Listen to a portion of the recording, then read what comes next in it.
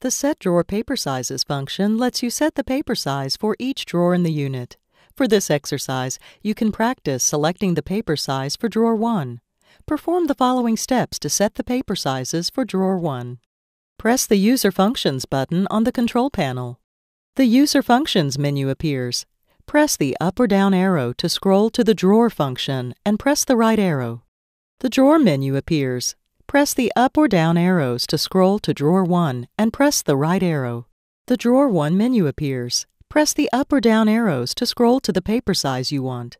For this exercise, scroll to LG and press OK.